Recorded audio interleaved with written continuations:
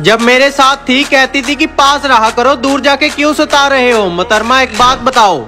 अब dialogue change कर लिया नए वाले को भी ऐसे ही पागल बना रहे हो।